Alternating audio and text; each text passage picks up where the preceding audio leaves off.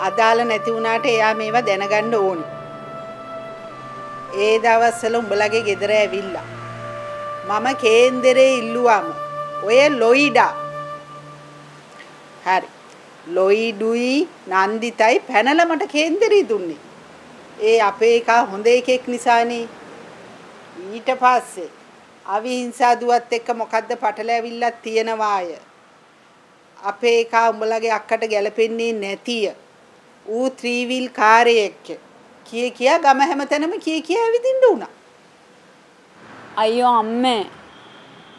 තාරුට ඕවා වැඩක් නෑනේ. ඔබ කට වහපන්. කෙල්ලේ. අනිත් කාරණේ. අවිහිංසා දුවගේ මගුල කට උඩ තියාගෙන උඹලගේ අක්කා මෙහෙ එනවට අපි බයයි කැමති නෑ කියලා කියපන්.